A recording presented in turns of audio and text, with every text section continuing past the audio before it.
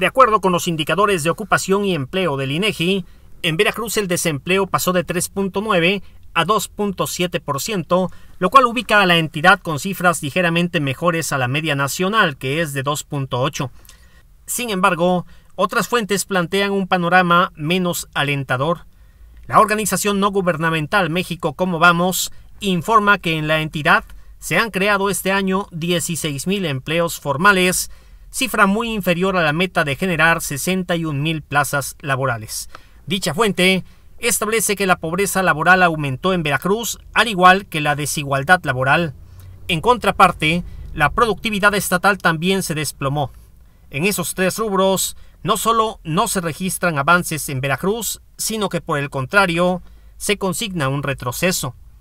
De ese tema le voy a platicar en mi columna de este viernes y le invito a leerla en horacero.mx.